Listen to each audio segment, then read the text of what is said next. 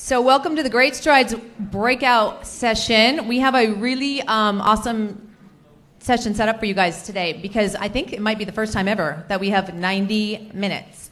Usually it's like we're cramming it in 45 minutes. So, um, we're going to do something pretty cool. The first half is going to be a. Um, a panel that we're going to talk about recruiting family teams and national family teams. They're going to go for the first half. Then the second half, we're going to talk about how do we get our walkers fundraising. Y'all heard the goal they just put out for us for this year $41 million. Woo! we got some work to do. That's what that means. We got some work to do. So we need to get those walkers fundraising. We need some new teams, and we're going to hopefully help you guys figure out how to do that today. So, we'll get started. I am um, supposed to advance the slide to say Pam Baker. I am Pam Baker. Um, and I, um, I have four kids, two of whom have cystic fibrosis. Gavin is 17 and Jake is 14. Um, they were diagnosed in 2002 at the same time, basically. My oldest was diagnosed um, when he was two and a half. I was six months pregnant with Jake and um, got an amnio and found out that he had CF as well. So that was February and March. Next thing coming up was Great Strides. I had never fundraised, I had never done anything like that, but um, I think, like most of the people that come to VLC, I wanted to make a difference, feel like it was all for some bigger purpose, and um, kind of take power back. So uh, we jumped right on the Great Strides train named ourselves the Baker Boys Battalion because we knew that we were about to go to war and we were going to recruit all the army members we could because we needed to we needed to fight this battle. So that was 2002, like I said, and uh, we haven't missed a great strides since. And um, we've changed our fundraising tactics over the year, and we're gonna over the years we're gonna hear some um, pretty cool ideas later on about other ideas that people have had with that as well. But Great Strides is still what we do it for. So, big, big part of everybody's fundraising. So, let's um, let's go. Oh, so at the end we're going to have questions like we have on all these, and you've seen this slide a hundred times, but we're going to go over it again. So, if you have questions here in this room or at home, um, open up your browser, go to cff.cnf.io and our, our session is Great Strides. So you can click that ask, draft your question, and we'll uh, get to as many of those as we can at the end of each section. So, what I'm going to do first is introduce each of our panelists, and then we'll get into some questions for them. And I have to put on my glasses because I'm getting old. So, um, Cheryl Kushner is our first panelist. She is a nurse practitioner at the Joe DiMaggio CF Center in Fort Lauderdale. And uh, she's going to talk about how she works from the care center perspective to get families involved. It's a pretty interesting perspective because people going to the care center, sometimes the CF chapter doesn't have access to them. They might not know any other CF families. They might not know anything about Great Strides.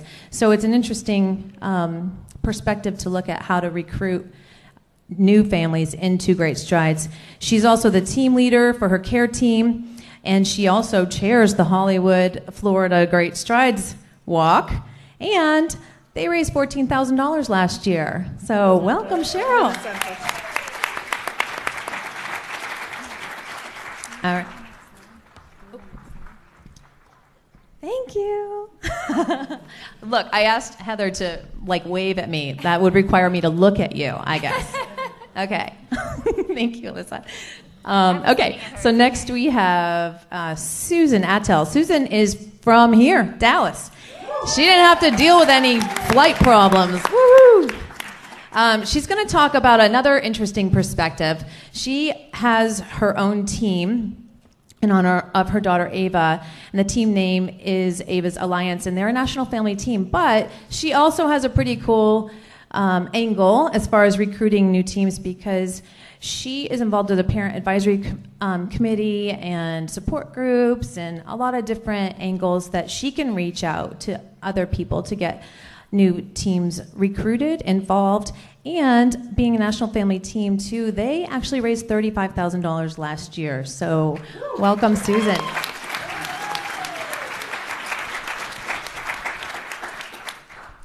Finally, we have Alyssa Chelius, and I am really excited to have her here. Um, we have gotten to know each other via phone, so we didn't know what he, we looked like, but we recognized each other's voices in the hall because Alyssa's always on our national family team calls, and that's a pretty fun way to uh, get to know people. Um, she's actually brand new in the CF world, and when you guys hear what she's done, you're going to be like blown away because I was. She has a 17 month old son named George and their team name is Super George. They live in Tampa. And um, like I said, year one, year one, seven teams around the country. And her team raised $53,000.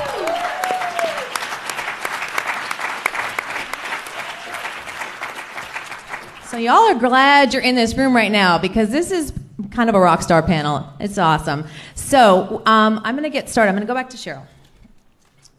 Got to flip my paper over. Okay, so you guys do some interesting things.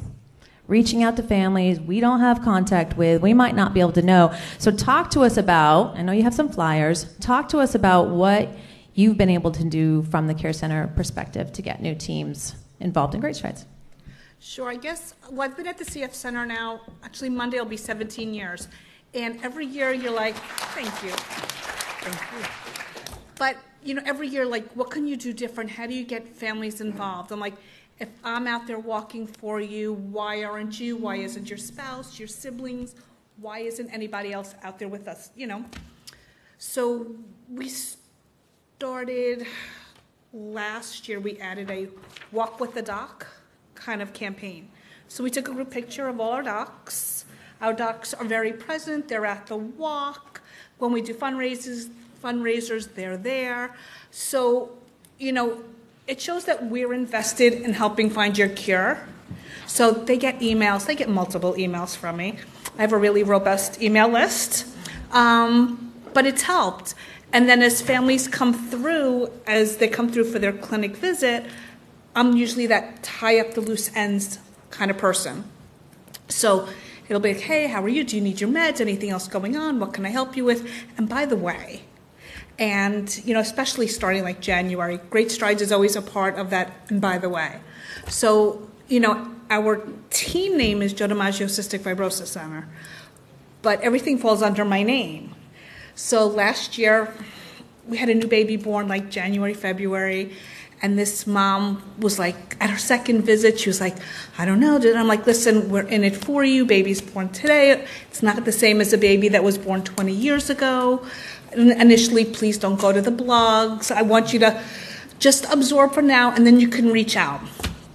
So she called me like three, four weeks later, and she's like, hey, just want you to know, I'm on a mission, and I'm going to knock that Cheryl Kushner off of the top of the fundraising list. so honestly, like, but she just she went with it, and you know, she was raising thousands of dollars. Not huge like a lot of most of you other people, but you know what? Her baby was just born. She took it, she ran. So, you know, I let them know that the foundation's there for them, but again, the foundation needs their support. No one's in it alone. We're all in this together. You will see us. Another thing we do as a clinic is just because Great Strides is over, we all wear our shirts on CF days. So whether we're wearing the CF shirt that's given at the walk or our team shirt, you're still seeing CF every time you guys come to the clinic. You may not see a whole lot of it through the blue gown, but as we disrobe the gown, you know, it's there and they see it. Or let's say we're, you know, in the hallway and passing as they're coming and going. So they know that we're invested and, you know, again, we're all in this together. It's definitely not them on their own. So South Florida is very interesting. We actually, within like 75 miles, have five different walks. And if you want to go like to 100, 125 miles, there's another walk. Honestly, I want everybody to walk in Hollywood because that's where our center is. Walk anywhere. Just get out there, walk, help find the money, and let's all find the cure. But they do, you know, some of them will go, no, we want to walk with the doc. We want to walk with you. I mean, they see the little fundraisers, like right now we're selling chocolate covered pretzels in the office. Last year we were selling bracelets in the office. So they see we're invested in them. And I think that like kind of shows them they're doing for us. Let's just jump on board and help do for ourselves. The hard part are some of the adults because they still live in the closet. They don't want their coworkers. We have a lot of teachers. So they don't want their students. And I try to teach them that just because you walk for a cause doesn't mean you have what that cause is for. But they're a tough, they're a tough bunch. So I would love some advice on how to break through that.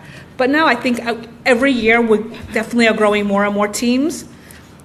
You know what? Every dollar is the dollar, and who knows which is going to be that dollar that helps find the ultimate cure. So every bit helps.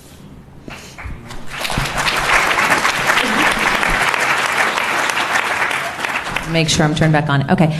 Um, so I have a question that is not on here, but I think it is amazing that you do all that because that is such a perfect example of you you changed that mom's life because you exposed her to this whole support group that she may not have known about so that is huge and i applaud you for that um, one of the things that i'm curious about though because i love that your doctors are so your whole care team is so in it we have some care team members that come to great strides religiously and some that are so not involved do you have any advice for the parents on what we could do to go to our own care teams to ask them to maybe start a walk with the doc? Like, what would you suggest that we say, or who to talk to about maybe implementing that?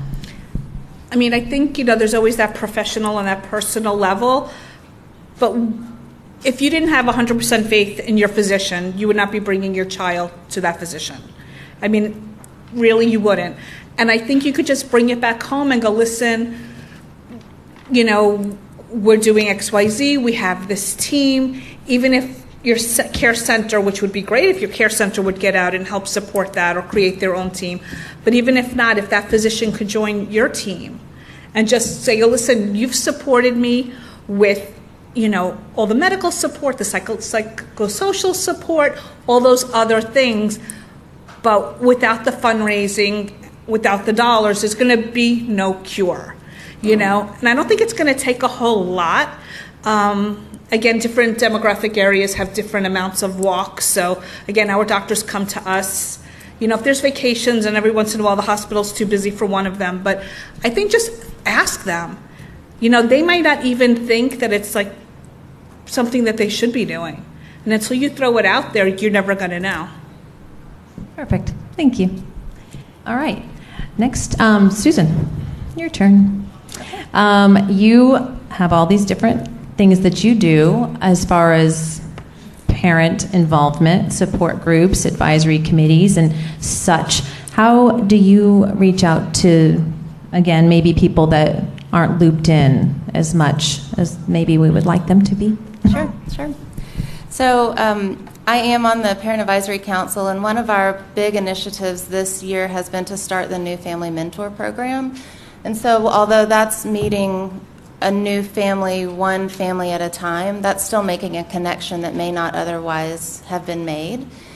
And we also, with our Parent Advisory Council, we've been able to collect information about our parents just by reaching out to them and letting them know if you know we can get your email address. We'll send you updates from the clinic. We'll send you tips you know parenting a, a child with special health care needs.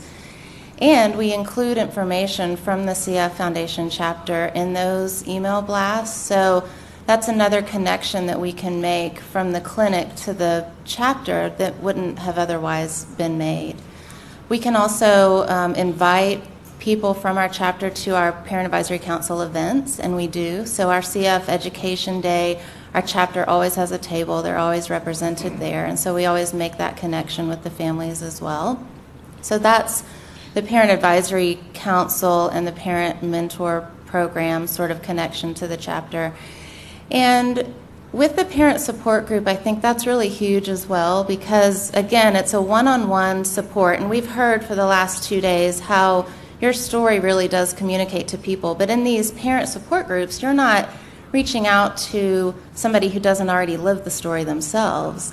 What you do is make that connection between the support that you feel from the foundation. So you can say that your very first walk of great strides, in my case, I wasn't our team leader, it was my aunt because I was still sort of in this shock and grief stage. So you can tell families that it isn't all up to the parent that is providing all the care for their child. These other family members can really reach out and support and create a team for them. And you can walk. Our very first walk, I just I just walked. I was sort of carried by the team. So that's a way that you can converse with new families as well, that it's not all up to them, but it still can be done, you know, with the support of their family members. And a newly diagnosed family, the family members really don't know what to do because they're not involved in that day to day care necessarily. And they're begging for ways to support their family members. So that this is a one really great way to do that, just to create a team for them. So that happened for me, and I know that's happened for several other families. As well with the support group, it's a it's a online support group as well. So we have several different Facebook um, pages in the DFW area. I think we have four, and then with the support group, there's a separate Facebook page for the support group, and we meet monthly. And so everything about Great Strides is posted to all these different pages. And so it's just a great way to reach out to new families who may be going to that Facebook page just to get a question answered about how to sterilize a neb cup or, you know, a, a best way to handle the child not wanting to do their treatments. But then they see this other larger group that's out there supporting them with the foundation. And Great Strides for, for me, it really is, since CF is such an isolating illness, it's the one place where you really can get together and your children can see each other and they can see people face to face who are fighting the same battle that they're fighting. And as the children get older, this is becoming more important. My daughter's six now, and she's becoming much more aware that nobody else in her school is waking up at six to do treatments and Nobody else is having to race home to get a treatment done before racing back to school to get soccer practice. So to meet some of those families face to face at Great Strides is is becoming much more important to her. And so to be able to communicate that to our families through the Facebook post or through that support group is a really important thing as well. I, I totally, um, I, I, totally agree with that. It's it's awesome what this generation of CF families have that that even I didn't in 2002 is the social media and the family advisory councils and all of this. And I do remember going to Great Strides, and you know I was surrounded by my family and friends, but I didn't know anybody. And now I there's I was just looking around to see if Melissa's in here, but um, she's not. I'll have to get her out for that one. Um, anyway, this new crop, I say a new crop of um, young CF moms in Atlanta, and we did this photo shoot last month and, and had four of the new moms come to it. And I, I was at the shoot and I was watching them, and they're like carpooling together, and they're like, uh, like hanging out and doing all this stuff and i was like i i was so um, i was so happy and i felt like a proud mama but i also felt that little tinge of jealousy because I didn't have that, but I'm so, so glad that they do. And it is stuff like what you're doing that creates those, that space for people to, to feel that network, truly feel it. And what the foundation is doing now with all of the support that they're putting toward the daily quality of life for the entire family. So that makes a huge difference. So thank you for that. Sure. I'll, I'll add one more thing.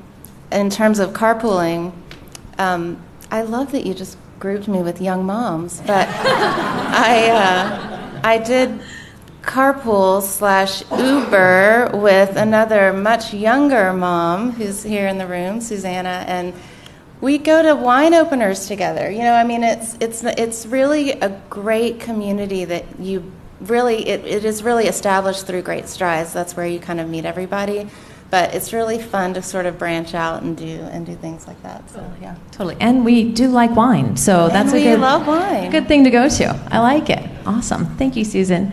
All right. You're up, girl. Okay, let me um, let me just remind you all that you know year one. She has a 17 month old. Speaking of new young moms, um, a 17 month old, and um, I learned something very quickly about Alyssa. I think it might have been our first conversation post National Family Teams call where we kind of stayed on the line and chatted. and I'm in Atlanta, and she's in Tampa. She's going to embarrass me right now. I can tell. No, it's not. It's awesome. I was like, she, I kind of love her. Um, she, she was frustrated um, with they they did had an amazing, amazing. I mean, amazing first year. Seven teams, fifty three thousand dollars. And um, she was feeling some pressure because she was having some particular people, um, hopefully they're not watching, um, say, uh, well, don't expect that next year because this is your first year. Everybody's kind of shocked, and you know it's not going to happen next year. Uh, you know what her response was? You're right. I'm going to do a hundred thousand next year. I hope we do. no pressure though. So yeah, talk to us about um, how did you do that? How did you get seven teams? How did you come out of the gates and raise that much money? And you know, you obviously have some fire in your belly, which is awesome. so. But tell us. I guess so. Is this this is on? Can you hear me? Um, so it was funny when I got this call because George was still an infant when we started our team. So short of changing dirty diapers, late night feedings, and crying children, I do not remember much. But my wonderful husband Matt, who's here today, wave your hand. We got together and we like thought about it and we're like, okay, this, this is how we found out about Great Strides and about the National Family Team. So it started in um, October of 2015 when George was diagnosed with cystic fibrosis.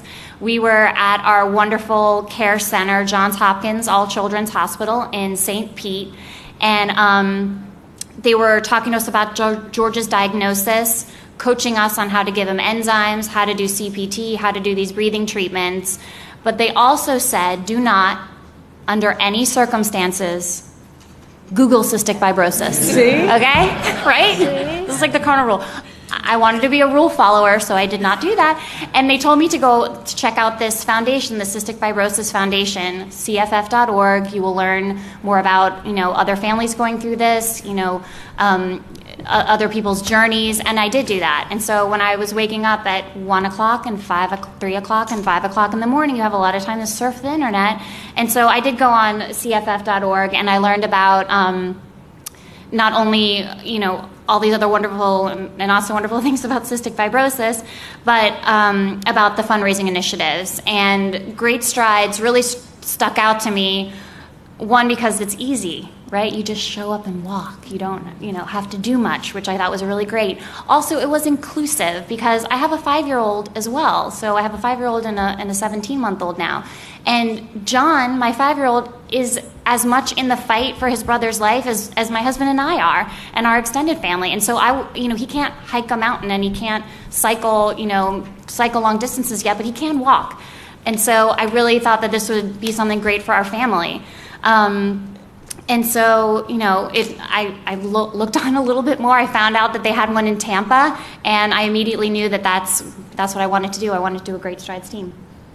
And then, as far as the national, And are you so, going to ask yeah, me? that's what normal people would do, and just say, "I'm gonna, I'm gonna go to my local walk that's five minutes down the road." But then, then you had seven.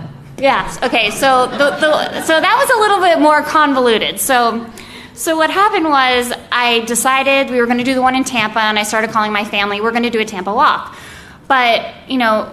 Matt grew up in Tallahassee, and, and this is similar to what Ginger said. You know, Matt grew up in Tallahassee. I grew up in Fort Lauderdale area, and I didn't even realize at the time we could do three walks. I was like, well, no, you know, it's one team, one walk. I didn't really understand, you know, how to how to make it grow. But my friend, this is kind of convoluted, my friend Heather, who's on the board um, in Fort Lauderdale, CF Foundation board in Fort Lauderdale, put me in touch with Peter. And Peter put me in touch with Ginger. And Ginger mentioned a national family team, and that's how I found out about it. And so, um, you know, the way that it grew from there, before we lived in Tampa, we lived in Baltimore for eight years. And so I asked a friend in Baltimore if she would start a team. My best friend lives in Atlanta. I asked Cami if she would start a team. My brother and sister and one of Matt's cousins lives out in Los Angeles. They wanted to start a team. Do you see where I'm getting? Do you see where I'm going here? You see where I'm going? Um, Matt's aunt Jerry lives in Houston. She has three daughters. Two of them live in Houston, and they have eight grandkids between them. I'm like, that's a team already. You don't even need to invite anyone else. That's a team. So, and that's how we got started. That's how we had the seven teams. I think it was Tampa, Fort Lauderdale, Tallahassee, Baltimore, Atlanta, Houston, and Santa Monica. So, hmm. That's not too shabby. Yeah. And I'm telling you, and I don't want to say it's it's super easy. You know, um, in the beginning, the first year, you know, everyone wanted to jump on board and get on board. The second year, I mean, pretty much everyone still wanted to get on board, but you know, we had some bumps. We had some people, um, you know, that Matt's dad couldn't lead the Tallahassee walk because he was going to be out of town. So Matt's taking the lead. He's going down there with, you know, we're going to go down there and lead it together.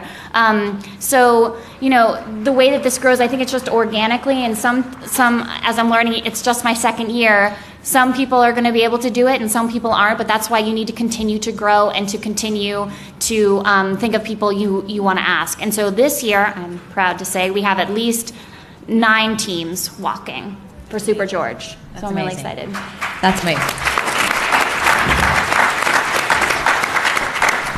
So I know we've talked, we met on the phone. So um, talk about what's what the National Family Team calls have helped you with in this whole process? Absolutely. I'm so glad you reminded me to say that. So, when I originally started this, again, just to, to, remind you, I have this little infant with a disease I've never heard about, and I'm, I'm trying to start all these teams in all these different countries. So I felt kind of scared. I didn't know exactly what to do or how to do it. But then I realized that all I needed to do was get on these monthly calls with these amazing people that have been doing this for a lot more years than I have done this. So, Ginger, Pam, Laura, Maureen, Erica Cook, all these people are not only mentors for Great Strides, but they were mentors for me as a new CF mom.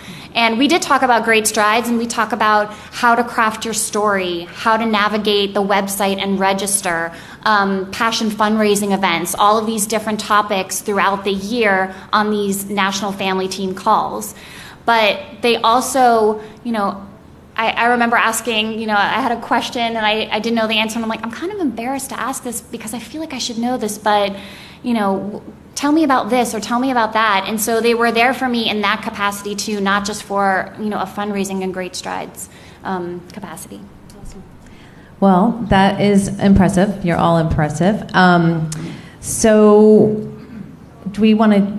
We want to do the. Uh, you're pointing. Oh, do we want to do that or the um, thing that Erica gave me? Erica? Mm-hmm. All right. Okay. We're so secretive um, because because it's not on my script, but I did see. Where is she? There she is, Maureen Ballard. So we just talked about national family teams, and Maureen, you guys just saw her up on stage um, from Hawaii, and she co-chairs our national family teams. And she actually got an award, top fundraising team, for doing it for Drew.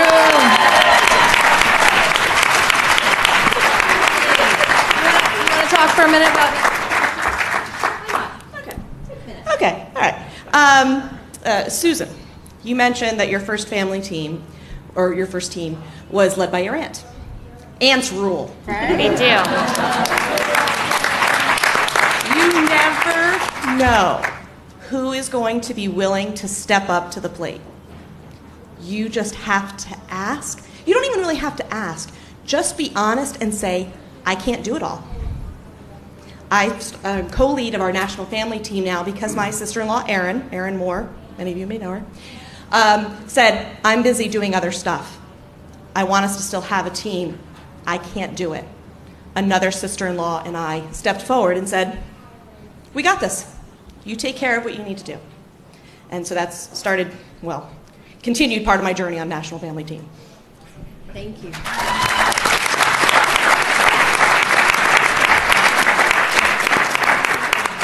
I think Maureen makes a fantastic point, and I think a lot of us maybe get caught up sometimes asking for help, right? So you don't want to ask people to do something. Everybody's already so busy. But when you're living with this disease, as we all know, it um, it takes a lot of time and a lot of energy. And I think that we all have to get over. I know I'm super guilty of this. Um, letting people help you instead of asking for help. It's letting people help you because people want to help. And if you don't give them options, maybe it's this, maybe it's being a walker, maybe, you know, I, I tell people all the time, everybody has their specialty, whether it's sitting with my kids in the hospital so I can go be with my other kids let people in and let them help you because they want to and you know then you might have 75 teams in your first year so I, I exaggerate a little bit, not not that much. That's okay. Um, I'll, I'll have 75 teams. Who wants to start a Super George team? Come on, raise your hand. She's not afraid of asking that one. All right, so now it's question time, and I hope I know how to use this. What do I do? I don't see anything. I see ask a question. Help! All right. Well, while we're figuring that out, does anyone have a question in the room? Somebody's got to have a question. Laura Gordon, I know you have a question. When is the next National Family Team call? Ooh, good, uh, question. When is the next National Family Team call? And it happens to be very relevant because it's next week. It's next. See, am I just not getting it? Next Tuesday. They're always once a month on Tuesdays at eight. What? What do you have to do to become a National Family Team? How many teams can you How many teams to raise? Oh, She's there's so a flyer. lucky. There's a flyer right here too that you can Here. refer to. Go with the flyer, Alyssa. Okay, go with Talk the flyer. the flyer. But you need to have teams in three different markets, and um, if you want, if you want to get involved, I think I just emailed Erica and said I want to start a national family team. Erica's in the back. I just met her. She's one of the people. She helps lead the call with Ginger and and Laura and everyone else. And um, I just said I've got, you know, I have a couple teams that I want to that I want to sign up. Yes. I want to be a National Family Team, but I'm really afraid to talk to some of my friends and afraid that they have to raise like thousands of dollars. How do I talk to them? Do you, do you?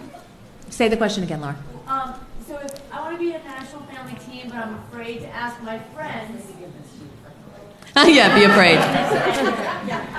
So hypothetically, I want to be a National Family Team, and um, I'm afraid because I'm worried that when I ask my friends, I'm asking them to raise thousands of dollars from me because I'm thinking that's what we have to do for National Family Teams. Can you tell me about how much they have to raise?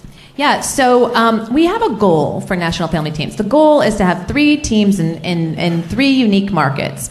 So, um, and, and then the overall team to raise 10000 which can be overwhelming for some people, but that's the goal. It's just like they say for a Great Strides have a team get 10 walkers, raise $1,500. That's the goal. We're not going to kick you out if you don't if you don't reach that goal. So that's you know just be there as support for your for your um, for the people that you're bringing on as your team leaders. So, does that answer your question, Laura? And I also think um, being afraid to share your story, that was me. Um, when I got on the very first National Family Team call, it was in March of 2016. And um, I had still hadn't told anyone that George had CF, and he was already, you know, several months old at that point. And um, the people on this call, I I told them that that I hadn't said anything. I hadn't, you know, my close friends knew, but I didn't reach out on Facebook or any kind of social media. And they encouraged me to do that. And they said, when people find out, when people hear your story, they're going to want to help you. And it was true.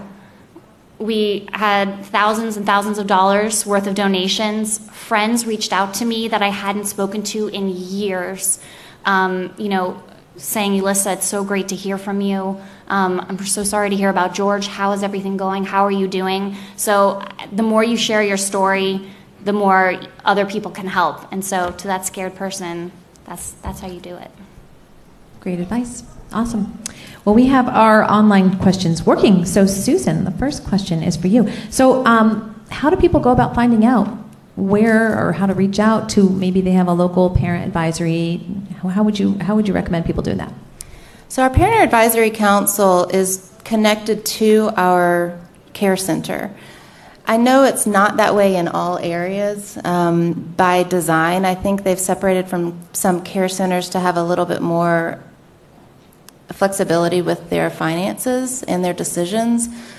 We currently are still connected to our care center. We're, we're really only two years into our advisory council here in Dallas. So you can start with the care center. You can even ask, I would imagine your, your chapter might know if that's happening in your area. Other parents might know if that's happening as well. So. Yeah, that's, that's true. And I think um, a lot of times Facebook, you can find Oh, for sure. stuff through there too, for sure. Awesome. Cheryl, got a question for you. Ready. All right. Um, if okay, so we we touched on this um, a little bit already, but if you if you don't have an involved care center now um, team in Great Strides, and you have that parent that wants to go. Now, I can't remember if you actually said this or not, and I'm hoping you didn't since it's on this question. Um, who who would be the point person? Who would who would you suggest people talk to? Nurse practitioner or the social worker? Who would be best? I would probably go back to either like the center coordinator, the medical director, or the social worker. It just depends probably on who you had that best relationship with. Because I think once you have that bond and you know you're digging deep and you know you're showing how much you want their help to help find a cure, you know, for your child. So I would go with the person you probably have that best relationship with. Yeah, that makes sense because it is different at every single one. Right. Good. Everybody has that different special relationship. Great, awesome. Um, Susan, I have another one for you. Um, what what do you do as part of your mentor role? Like, what does that look like? Someone someone wrote that they just signed up to help in that capacity at their clinic, so they just want a, little heads up. What's that? Sure. Well, thank you for signing up, first of all. Um, we were trained, we went through a pretty significant, you know, four hour training, um, what to say, what not to say. Um, and I think that we've all heard statements from very well meaning friends or family that were not supportive at all. And so I think mentor training is very, very important. We tried to have our mentorship program. We have tried for several years to have it started, and it, it took a lot of a, a lot of encouragement, I guess, from the parents, and that this was really something that we really needed. And so I think that our, our care center initially was hesitant, and I think similarly why they have not why they had not st- started the support group here. Our Dallas support group was actually started by a CF parent was a you know privacy issues and that kind of thing and so the mentorship training program took a little time to get started but it also was a very diligent intentional slow seemingly slow start because of how important and how diligent you need to be when you respond or when you reach out to a new parent as a mentor versus a friend so our social worker initiated the training and has initiated the relationships. So there are five or six of us that are new family mentors in Dallas, and we each have been paired with one family so far. And those have been families that have either reached out to the social worker to have a mentor or who the social worker has reached out to to offer a new family mentor. I totally agree. So we do that in Atlanta too. We have a mentoring program, and it's huge. Um, I think a lot of us mentor by default when you when you have new CF families come into your circle. Um, but it's really important to get that training because it's the crossing the lines, right, are hard. Like you don't give medical advice. You you know you can't do any of this stuff that seems so natural. Like well, for me, this is what I do, and um, you know that gets that gets pretty touchy at times. So having the proper training tools to know how to handle those questions when they come, Right. super important. Yep. Did, did you have a question?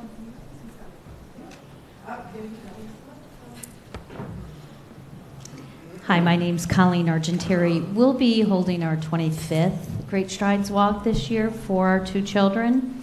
Um, one of the things that I just wanted to remind people that really could bring in some additional funds is if you are making a donation, which we all do, please double check with your company, your friends' companies, your family's companies to make sure or to check to see if they are matching gift company because you could just absolutely double your income and donation. So I think when we get in the planning stages and you know everything's so crazy that those little things are easy to forget. So just as a little reminder. So Great reminder, actually. That's that's like the epitome of uh, work smarter, not harder. Look for the matching money. Yes. Oh, sorry. Were you- Oh, actually, I'm probably good without the mic. No, Okay. Um, all right. I have a quick question for Elisa. Um, did you do anything special to kind of connect your teams? Like, did you have a special uh, token or totem or T-shirt or something to kind of um, to go across those seven teams and now nine teams to kind of um, connect them in a way other than just the name and the fundraising goal? Yes, um, we had T-shirts made. I wish I had one here or a picture of one. They came out really cute. It's Super George um, T-shirts that we provided for all of our walks across the country, and um, my mother generously purchased them and donated them to our cause. Um, the person that she got them with, the company, he gave us a great deal. So um, it was it was great, and, and, everyone loved the shirts, and the kids still wear them, and they post pictures of them on Facebook. Oh, look at the kids today; they're wearing their Super George shirts, and just more, you know, plugs for CF Foundation and and our son. That's a great question. Okay. Um, Sorry. One more. One more.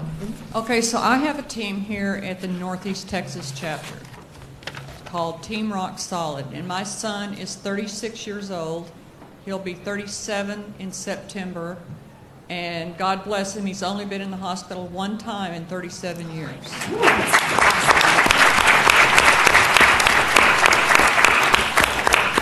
So I can, I can literally, if I was to tell my elevator version of my story, that would be it.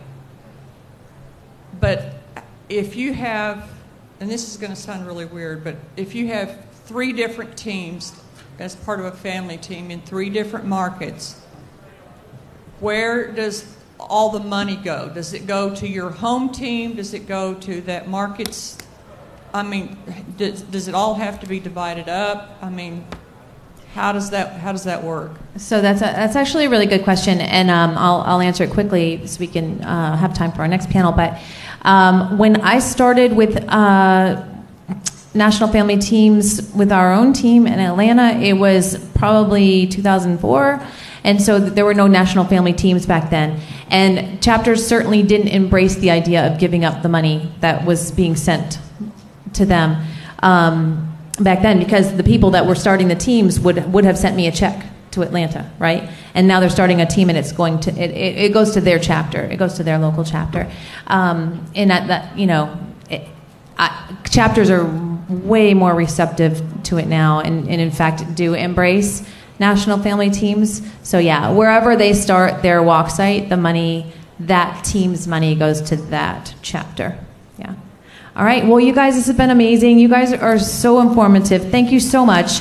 Um, round of applause.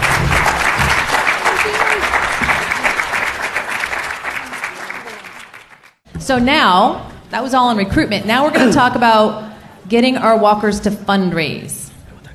It's awesome to get our walkers to come and walk. And I think we've always just been so grateful that people would come and show up and walk with us that maybe we've missed the boat, and I say we meaning me, um, missed the boat on actually making the ask to get our walkers to raise money themselves and not just show up. So I need some strategies on that. I know that I do. So we're going to. Um, get some uh, experts in this field. You know, we have about, I know some walks already took place, and we have walks that go all the way to October, but most of them are happening in the next month, month and a half. So it's time to uh, get these people signed up and actually fundraising. So we'll do the same thing. I'll introduce each person, and then I have a couple questions for each of you, and then again, we'll um, have time for questions. So you guys got that whole thing already. So Ryan Irving is first. Ryan and his wife Whitney um, have a son Shep, and they've been doing Great Strides for five years. Team name is Steps for Shep, and they walk out of Jackson, Mississippi. So last year, um, so they've been doing this for five years. They raised uh, over thirty thousand dollars last year doing Great Strides.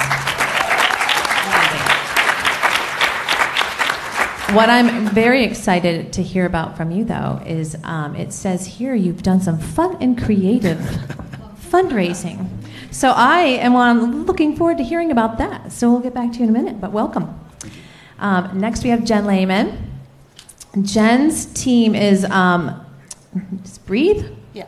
not breath. No. Okay, breathe. I don't want to say it wrong. Breathe for Olivia, um, and she has a, a, another. She's she's an awesome aunt. Her uh, niece Olivia, um, who is 15 years old. So they've been walking for eight years, and they've they walk out of Lancaster, Pennsylvania, and last year they raised over thirty-five thousand dollars. But collectively, in the last eight years, they're at the two hundred and fifty thousand dollar mark.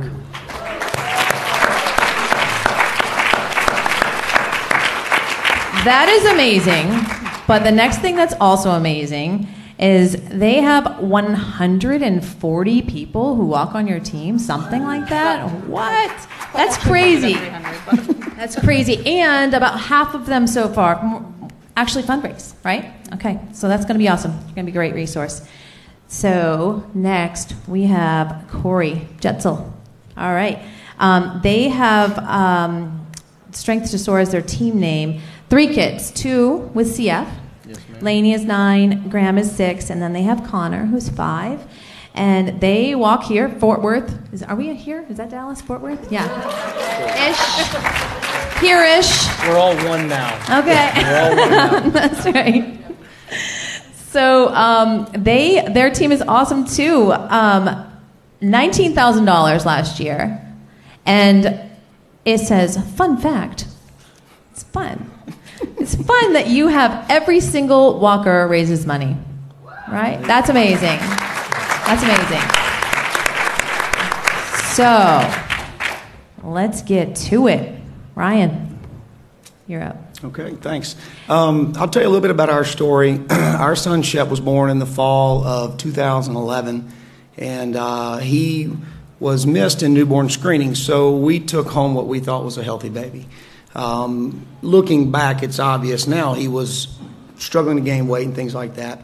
Uh, spring of 2012, he had blockage in his stomach, emergency surgery. The surgeon suggested CF could be the culprit. Uh, so through testing, we did find out um, uh, later that spring that he was, in fact, uh, positive for cystic fibrosis. So that first year, as most people know, was much like what Lisa was saying, was, you know, we, we stayed away from the Google and we, we were trying to figure out what this life was going to look like. Um, so we did not really tap in very much as far as fundraising, great strides. We were trying to figure out what life looked like because we have an older son, picture of health, probably hadn't been to the doctor twice in his whole life. He's about to be um, eight this summer. So it was, it was quite the apple turnover for us um, in regards to care for a child. So fundraising was the last thing on our mind at that time. Um, our executive director, uh, Renda McGowan, reached out to us uh, pretty quickly and just kind of encouraged us, hey, when you're ready, we want you to get involved. Um, and so I, at the time, was playing a lot of golf. The chapter had a nice uh, golf event. And Renda said, hey, just come on out, help us with this. You know, we kind of need some new blood. Help us kind of get this thing going. So that was kind of our first, my first, and our family's first involvement in um, fundraising. Um, so that was kind of what broke the ice for us. I got to know more people in, the, in our community. I got to see kind of corporately who was involved, who wasn't involved, and things like that. Um, really and truly, our, our first year um, involved with Great Strides was really, uh, I think, Shep's second year of life. And we kind of limped into Great Strides. It's a walk. You go and you show up and you walk. And I think we gave some money, and maybe our parents gave some money. And that was kind of the extent of it. The next year, um, we were invited to come to VLC. And I think VLC is probably, um, was probably the most influential part for our family, um, learning how to get involved, how to tap in. Uh, we were pretty overwhelmed the first year at VLC. Uh, and so this is being our third year.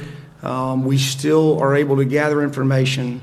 Uh, we really love hearing other people's ideas. Um, a lot of our ideas were spawned from other people's ideas. Uh, we just maybe take a concept and tweak it here and there, whatever. At the end of the day, we're all doing the same thing. We just got to find what fits our personalities, our lifestyles, and, um, and kind of our, our people in our lives, our friends and family. So, our great strides, it's kind of an annual thing. Um, you know, last year we did raise uh, a little over $30,000 um, over the course of the year. That did not come strictly from our walk. Um, we take uh, an approach of two or three different ways for, and we're going to maybe expand that this year as to how do we get to our um, goal. And so, what we do is one of the first things we do is we use social media. Um, my wife and I are on social media. We're not social media nuts uh, until it comes time for fundraising, and then we're fanatics. Um, we were we sat in the uh, social media breakout earlier, and I was hearing everybody saying, you know, people are going to infringe you, and I feel like we probably have lost some Facebook friends, but that's okay. Um, but the ones we've kept have supported us, and they continue to support us. So one thing that we do, uh, one phase of our fundraising is through direct social media. Um, about four weeks prior to the walk, we will really get aggressive and remind everybody, hey, it's that time of year again, okay? Let's get ready to, uh, to donate. Here's, you know our story. Here's where we are. Here's where the foundation is. Here's where science is. All the things that we gather uh, from this weekend, the, the, information, we go back and relay it. We use that. We use pictures. We use videos. Something that's been really successful for us is um, using our son Shep uh, in those videos um, to give him an opportunity. He's five and he's kind of taken this on and he kind of taken some ownership of it. And he enjoys thanking people for helping and asking for people to help and we do updates as we're going. He'll hold a sign up and say this is how much we've reached towards our goal. Please help us finish out strong things like that. And what's interesting is is that every time we post and we don't we don't post two and three four times a day but you know every other day every two or three days we're going to put something out there we watch that little meter spike every time we do that and we have found a lot of success in utilizing uh, him, uh, videos, pictures, statistics, graphs, charts, anything that's visual that gets people to tap into kind of what's going on. So that's kind of our um, direct, what, what I look at is just a cold ask for money, okay? We're asking you, give us money towards this cause. Secondarily, on the, on the social media side, something we did this year and we're trying to get better at, and we're going to get better at, is involving our friends and family. Going to that second layer of, of, of influence, getting them to get out there, let them post to their friends. An interesting story my brother, um, I asked him this year, I said, please, I want you to, to really make an effort to put a strong post out once or twice over the next couple of weeks, whatever you can do. Well, he posts, and about 10 minutes later, we get three donations of about $250 each. Okay? from three people that I'm Facebook friends with. Okay? So I'm saying, first of all, I'm mad at these three people because they didn't give on, on, my request. But, but, but what became clear to me was maybe it was that second layer of ask. Maybe it was that person asking. Maybe, maybe he influenced them more than I did, which is fine. We just want people to participate. But it really opened our eyes to say, you know, we've got to find the people that have a circle of influence that can capitalize on that. He is uh, he lives in Nashville. We live in Jackson, Mississippi, and he's in the golf industry. We have people giving simply because he had influenced their life somehow. They didn't know Shep, they didn't know me, they didn't know CF. They knew my brother, and because he asked, they gave. If it was meaningful to him, it was meaningful to them. And so that was something that's really opened our eyes and, uh, and we're going to really try to expand on that as we go forward. Um, you know, some creative things that we've done, and, and, some of this is of our doing, and some of it is some of our, our neat friends. We've got some really special friends. We've got one particular uh, girl that's a good friend of my wife's and, and mine, and last year um, she's got this world famous cinnamon roll recipe that everybody loves. It's handmade cinnamon rolls. So what she did was she made pans of cinnamon rolls. She's a Facebook fanatic. And so she puts out, hey, I got cinnamon rolls for sale. And so she sold a few. And she called us, hey, I want to donate that money from the cinnamon rolls to the wall. Well, ended up being she raised over $1,200 selling, selling cinnamon rolls.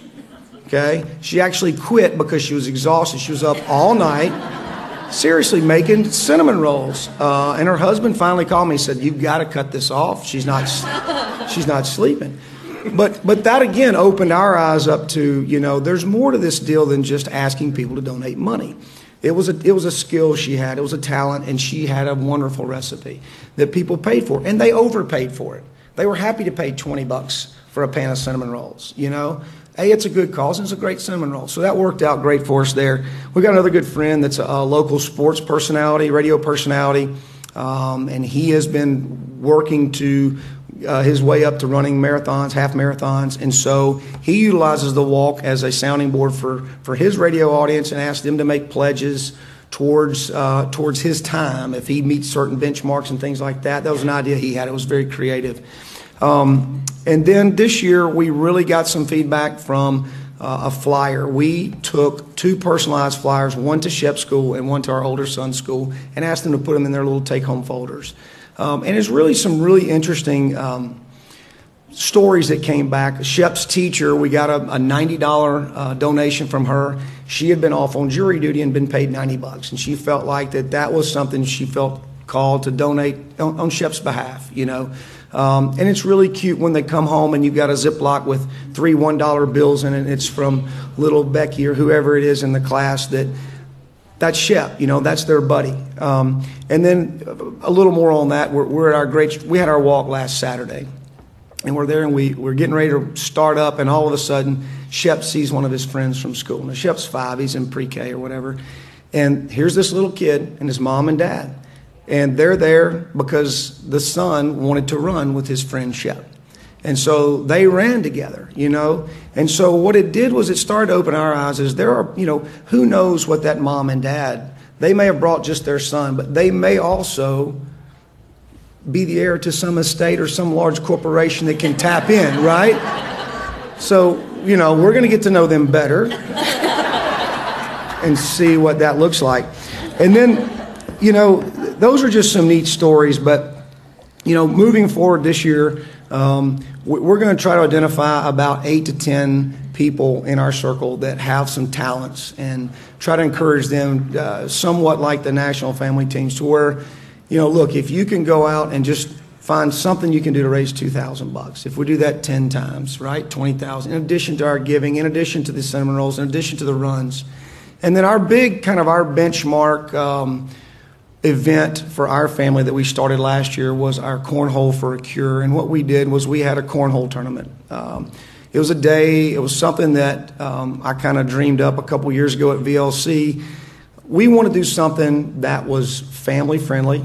You know, in a golf tournament, if you don't play golf, you don't go to golf tournaments, right? If you if you don't cycle, you're not going out cycling. If you don't, you know, so we want to do something anybody could do. So our, we had a 64 team cornhole tournament.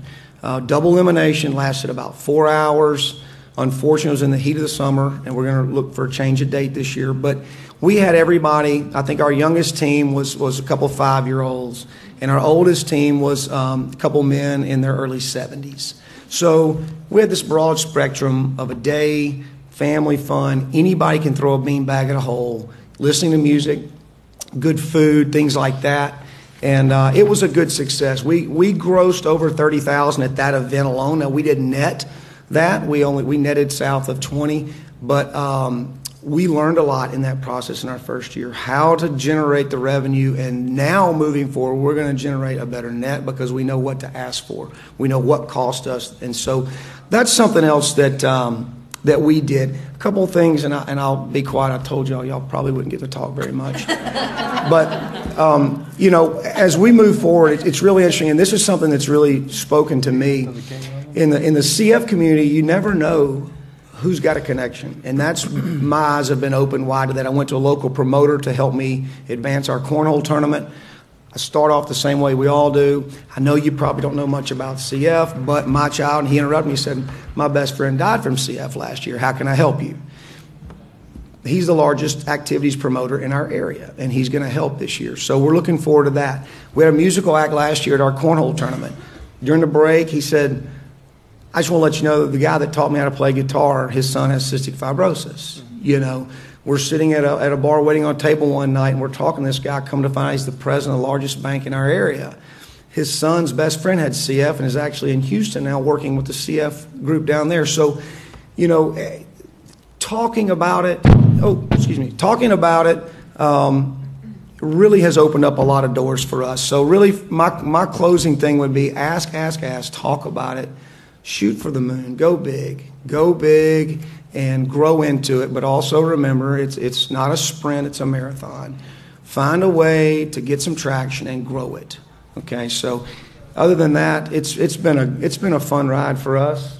we've, we've had some good success, and we're proud of what we've done, so thank you.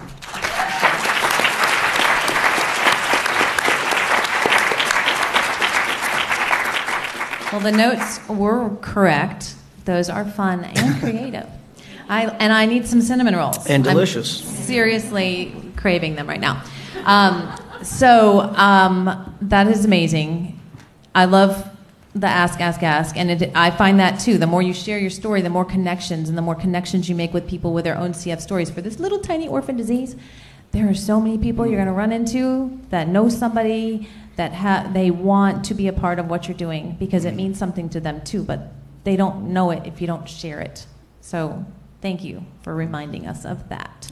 All right, Jen. So you got a lot of walkers. You got a lot of fundraising walkers. You got a lot going on. Talk to us. Um, so, uh, just a little bit on my story. Um, in July of 2009, my niece Olivia was um, um, really sick, and we didn't know what was wrong with her. I wasn't going to do this.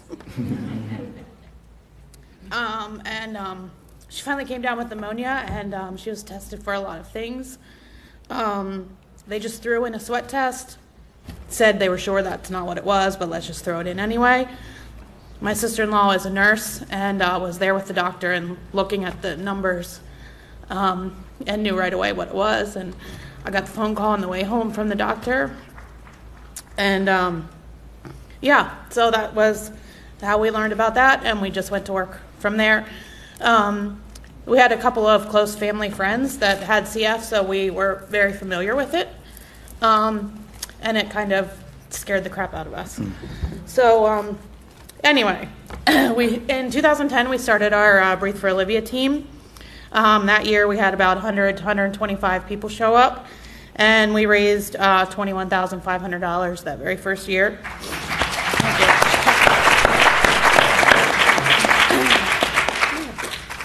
Uh, in 2012, we became a national family team. And in 2014, uh, Breathe for Olivia actually became uh, our uh, an official nonprofit organization, so that we can kind of do our own thing. Um, we give about 99% of our money back to the foundation, um, but we had a um, a local man that we knew that went through a uh, lung transplant last year, and um, we supported his family with some fundraisers, and um, we hope to uh, support others with some grants, you know, through our foundation too. So, anyway, um, yeah, and not to brag, but I think we're not at like 140. I think last year we hit like 300 walkers actually. Oh. We, we can't really count. We have no idea. Like we, we see people in town with our Breathe for Olivia shirts on, and we're like, "Who are you?" We have no idea. so, um, to get to our fundraising, that our T-shirt sale is like our biggest one every year. Um, I hear a lot of people talking about their T-shirts. My advice, and I know my sister-in-law would definitely agree, change it every year. Make them buy a new T-shirt every year, and don't donate them. Make them buy them. That's how we get everyone involved. And I'm, I'm serious. All 300 of our teammates buy a new T-shirt every single year. We probably raise six thousand dollars. The entire high school at Olivia School, they're all decked out in their Breathe for Olivia shirts. Um, so we just got our first shipment in this past week. So we started sending the kids to school in them so that their friends see them and they come home the next day like, "Hey, Max wants one. Joe wants one. You know, everybody wants one." Um, a couple of other things that we do. Um, coming up next Friday, we have our annual adult egg hunt. It's a flashlight egg hunt. um, it's a lot of fun. We hide about uh, between two and three thousand eggs. In them are prizes. Um, it's on a ball field. We shut out the lights. Everybody brings their own flashlights, grabs the eggs. We go next door to uh, to a bar and um, open up the eggs. And if you have a prize ticket, you hang around and we give out the prizes. Um, and in fact, we have a custom made cornhole with Breathe for Olivia, uh, donated by our friend who just had the double lung transplant. So it's pretty special. Yeah. So we raised about $5,000 with that. Um, I have four brothers, and um, each one of them is basically responsible for an event each year. Um, they have no choice. Um, one of them just threw, um, we're from Pennsylvania Dutch country, so it's called Hoss. It's a card party. He had about 56 players and they raised $2,800 a few weeks ago. Um, they're going to open it up to a larger venue next year and hope to hit like 80 players and, and double that money. Um, on Wednesday, right before Shanna and I left to come here, we had a ham and cheese sandwich sale. Um, we sell between 900 and 1,000. So we get all of our walkers involved. We give them we give them the opportunities to sell. We send out the order forms. Everyone sells at their at their um, places of employment, and then they and then we have a pickup day. And along with that, um, we, we, we make um, peanut butter eggs and coconut eggs, and so that day that day is peanut butter egg, coconut egg, T-shirt sale, and ham and cheese pickup day. So we open up my parents' garage, and everybody comes and, and picks up their things. Um, we made over 7,000 uh, peanut butter and coconut eggs this year, and we, we make about $6,000 on that.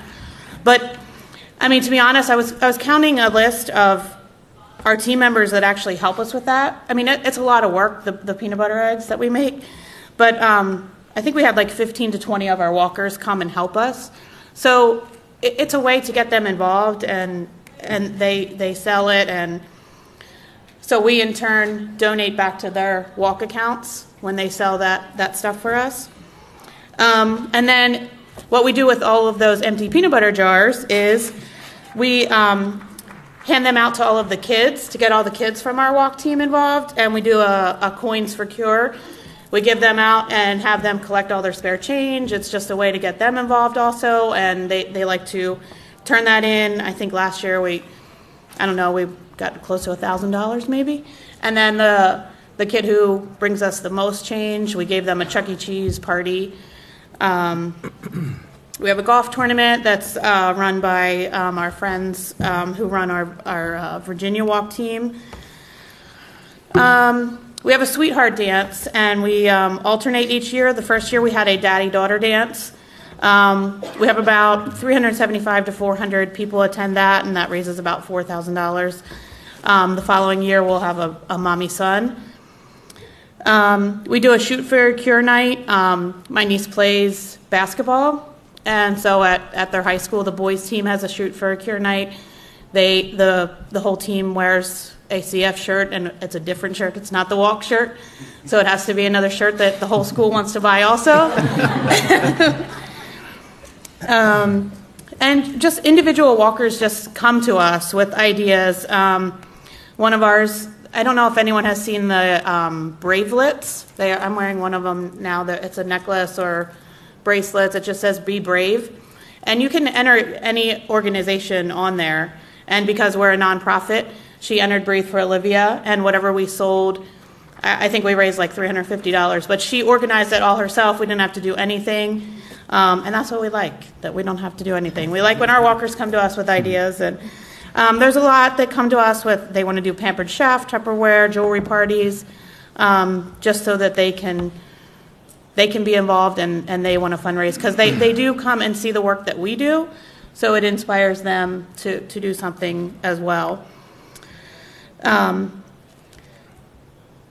so we, we try to come up with events that will, will pique the interest of all of our different walkers so that when they, they come and attend or come and help out with the ham and cheese sandwich sale, then, like I said, we in turn turn around and give to their walk accounts so that, it, so that everybody has the, we always make sure everybody has minimum $100 in their account.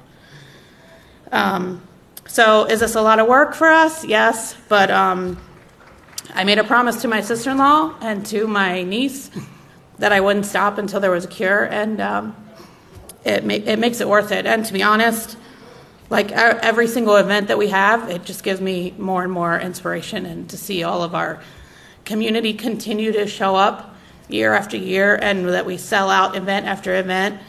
And, and like before the peanut butter eggs are even made, they're like, "Where are the peanut butter eggs?" Like, you know, it's just. And what are what color are the shirts this year? You know, it's just it's very inspiring. So, thank you.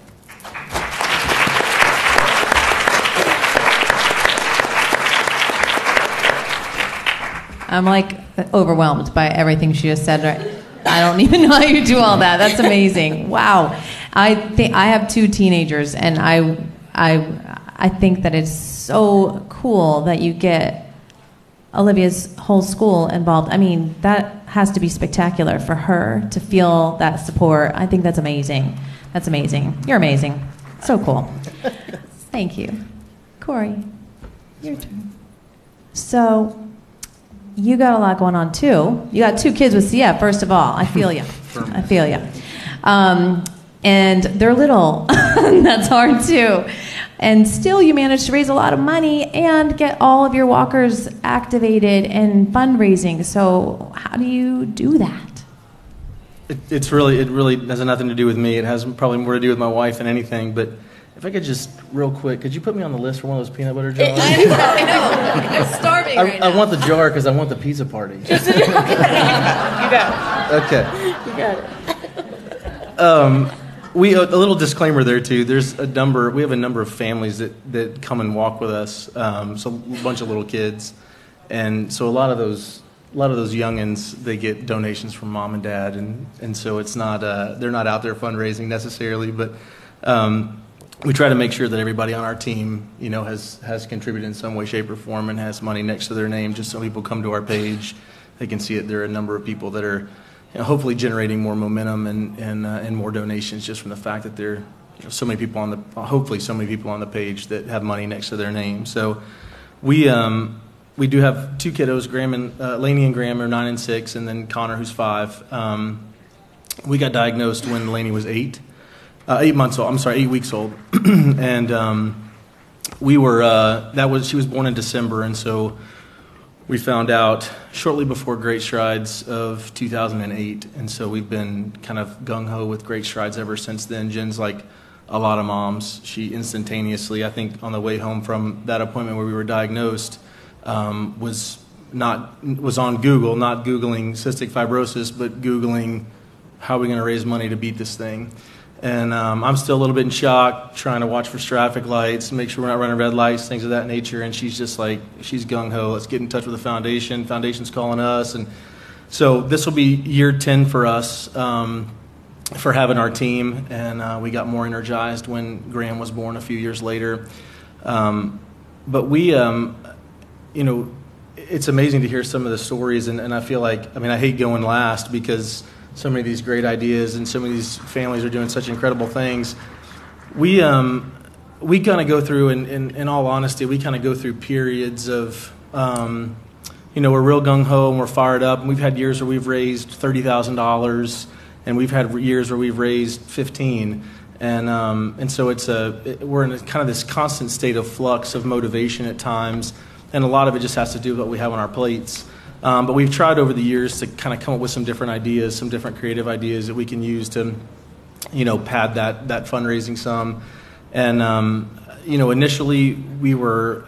I'm I'm a dentist by trade, and so I was thinking about ways that I could utilize the office to be able to help with that. And so initially we started with um, kind of a day of giving back to CF through the office. We'd kind of blast out to all of our patients that we were going to be, you know, all the treatment that we, you know, performed that day for them. All of that money was going to go directly to the CF Foundation, um, which generated a lot of buzz within the office and a lot of awareness, which was great. Um, and, uh, and, and filled the books. I mean, we had, you know, we, we extended our day and, and had patients coming in from 7 in the morning until 7 at night. And it was a really cool deal. The, the staff were, would donate their time, and it was really neat. And, and things kind of changed over, we, had that, we did that for a couple of years, three years. And then things kind of changed at the office. The office was growing, and, and so we weren't, um, uh, we weren't really able to continue doing that in the same way that we were at that point in time. So then we had to kind of shift gears and think about other ways that we were going to raise money. And so we have, you know, Jen and her mom and, and her, her friends and um, other family members of ours are really crafty and creative. And so for a number of years there, they were creating, um, you know, handmade, wh- whatever you can imagine, all kinds of handmade gifts and either um, selling them out outright or, or raffling them off for us or a number of different things just to to bring money in. Jen painted Easter baskets one year and sold personalized Easter baskets. Um, you know, blasted it out through Facebook, and her mom embroidered you know, personalized things for for uh, folks through you know Great Sure announced through Great Strides it was money was coming in for Great Strides and, and personalized embroidered things and sent them out to people and um, so that was one way we kind of stemmed the tide for a little while. Um, the um, we tried to do little things like spirit night at local restaurants for our kiddos. Um, so announce them at school, you know, come to Chick Fil A or you know all these other restaurants that'll do those spirit nights, and we raised some little bit of money through doing those and having you know classmates come out, and which is really neat to hear because you know classmates are, I mean, they just you know kids have those relationships that are just fun to see, and, and the kids they you know, they, they see each other struggling with something and they just they want to get involved. Like I wish we had, you know, the ability to just commit like they do, but it's neat to see their friends come out and and uh, and just want to participate and help because now they know that their little buddy is struggling with something that they had no idea about initially. So it was kind of cool to see that. And through all this, we're raising awareness. We've got a team member on our, our team member that's been with us the entire time. That's a, a sister of my uh, my, my sister's husband's sister, so a brother-in-law sister that's a teacher, um, teaches a marketing class in high school. And she, on her own, just decided that through their class, they were going to, CF was going to be their thing. And she was teaching them marketing concepts and how to go out and sell things and brand products. And so they would make t shirts and buttons and sell food. And they were doing it all through their own, their own high school, completely. Um, you know, devoid of any help from us, and they would raise two or three thousand dollars a year. This high school class would, um, which was incredible to see, and that was all just a you know a connection through a connection that you know she kind of picked it up and, and, ran with it on her own. Um, we we used utilized passion fundraising a couple of times for Connor's birthday um, which when he was young enough to not know that he wasn't getting presents, we would uh, we would we would do passion fundraising. So instead of giving Connor a present, you know, please donate to, for his birthday to CF, um, and he'd do a little video, you know, like Ryan was talking about. Uh, different from Ryan, when Shep does his videos, and Ryan's become a good buddy of mine through CF, but uh, Shep typically doesn't wear a shirt, so we typically will dress Connor fully whenever he does his videos. But, but we're that from, might be we're a from Missi- Mississippi. That might be a Mississippi thing. You're lucky he has his pants on. he will have his boots on, though. Video, videos are from here up usually. But uh, we uh, so we did passion fundraising for that. Um, but the last two years have been, you know, um, we've been coming for four years now, I think, to VLC. And Jennifer always gets really, and I do too, but Jennifer really gets fired up. And two years ago, she had an idea that she wanted to do something similar to what Ryan talked about, and that's to create an event in town that was very family friendly. Um, that was, you know, during the day, just come out, hang out, kind of, you know, wash CF over people throughout the day, but let them have a good time doing something else. And um, her brainchild was Touch a Truck, and Touch a Truck is an event that's we're going to have in October again for our third year. We raised ten thousand dollars the first year, twenty thousand dollars last year. Um, hopefully, we'll get somewhere close to 30 or 40 this year if we can really get you know hammering on some corporate sponsorships. But it's just an opportunity for kids in the community to come out and crawl around on vehicles, fire trucks, police cars, um, you know, dump trucks, garbage trucks, construction vehicles. And we get helicopters come out, and in the middle of the event, we'll come in and land, and the kids get to see that, and then they get to climb in the helicopter, and then it takes off later on in the day. And I mean, the, the what's really been neat to see is the, like they had mentioned too, and like everybody's mentioned, the community really starts to just rally around that cause. I mean, it's a, it may be a neat event that you kind of got started, but um, they just, um, it, it's it's it's been incredible when you know you ask somebody specifically to help and they're really dialed into it, and then they ask five or ten other people because they've got those connections that you don't have. And um, so we've been utilizing Touch a Truck to kind of to kind of continue to boost from there. And, and hopefully one day it'll get big enough that we'll just kind of spin it off and into its own event and continue to do great strides the way we always have been. Um, but right now it's it's kind of supporting great strides for us too. But that's kind of the last thing that um, that we've done. And then this year we've talked a little bit about wanting to expand. I think our next expansion will try to be into a national team and taking some of those folks from outside, out of town, that um, that have come and walked with us and supported us for the last few years and just asking them to. We have not made the ask of them, and that's a fault of our own. I think we haven't made the ask of them to start their own teams. And my sister's in Austin, and we've got friends in Houston and uh, friends in Arkansas, and, and they all come to, to walk with us. And, and I think we're gonna we're gonna be a little rude this year, and we're gonna maybe not this year, next year. We're gonna be a little rude and ask them to stay home and tell them, you know, walk in walk, walk in your own city, and uh, and we'll see how that goes. So, anyways, thank you. That is amazing. I think um, all of us, we, we all have a few more minutes, but I want to say that these are such great examples of, you know, we're all doing great strides, but you're doing it in the way that works for you, right? So letter write, writing campaigns are awesome and they work, they do, but a lot of times as you are in it for a little while you have to evolve and start coming up with these fun cool ideas that work for you that work for your family work for your community and you all are amazing examples of doing exactly that. So thank you for sharing. We have um, about five minutes to go and i'm hoping this is going to be good but okay i still don't see anything. Um, yes let's take a question from the audience.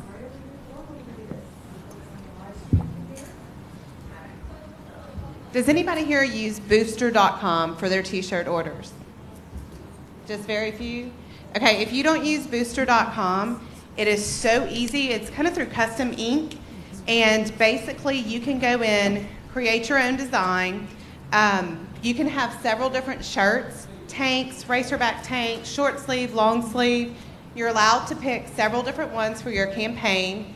Um, we've probably done it for our team the past maybe three years it makes it so very easy because when they go to order, your team, your family, whomever, probably would be a cool thing for national teams as well. Um, they pay for it online, so you do not have to absorb the cost. You do not have to have somebody to write it off. Um, so they can even pay an extra five dollars and have it shipped to them if they're somewhere else, and you don't want to get, you can't get the shirt to them. So what happens is, say the raw cost that Booster.com is charging is seven dollars.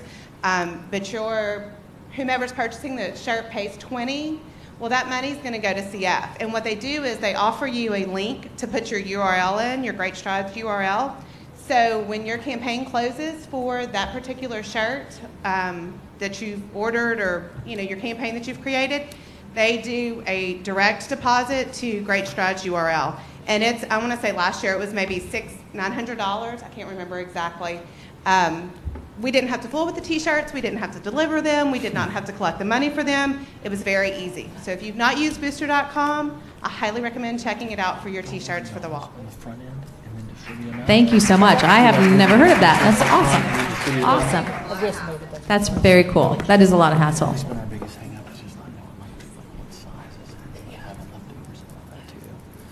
Question for corey. I love the idea of touch a truck. How do you monetize that? So the the first year we did it, um, we we did we're basically promoting it through social media. Um, we charge five dollars per person, uh, uh, kids ages two and under free. Um, so everybody that comes through the door basically pays five bucks. We've got um, food trucks out there, um, and they've all agreed to give a percentage of, of what they sell that day. Um, to the back to the foundation or back to touch a truck. Um, so we don't have to mess with food and providing food and things of that nature. The event typically runs from about we, we, play with the times a little bit, but typically runs from about 10 to 3 or 10:30 to 3:30. Um, and so we've been the first year was pretty much all ticket sales. We didn't have a lot of people that wanted to sponsor us because we had no product to show them. Last year we had a couple of uh, sponsors come in at the $2,500 level.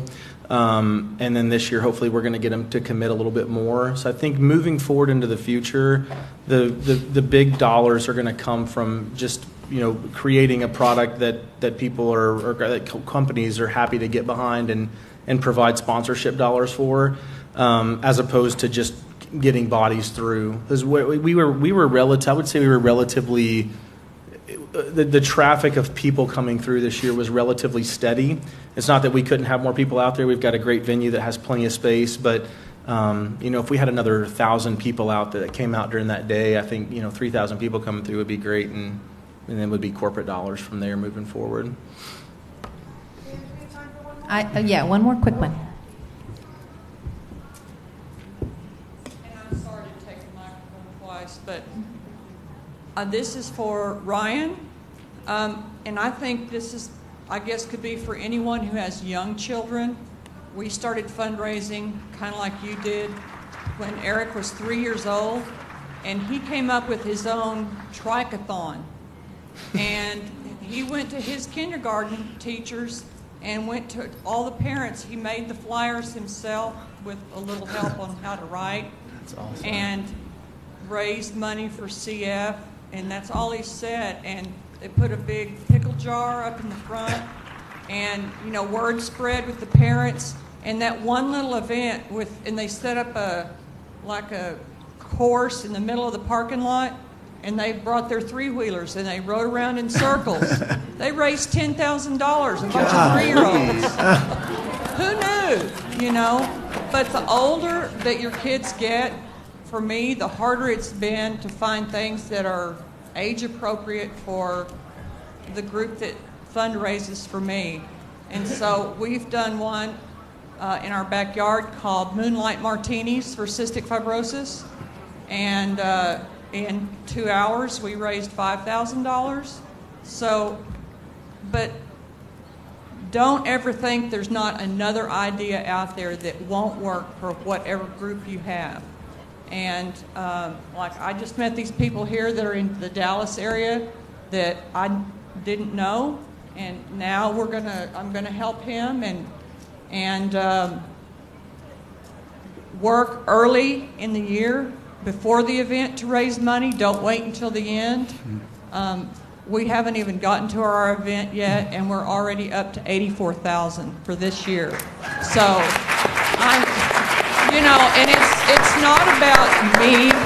It's about it's about all of us. It's about all of you. It's about your children, your grandchildren, and coming up with weird ideas. I'll wake up in the middle of the night and come up with some bizarre way to raise money, and I'll write it down because the older I get, the more I forget, you know.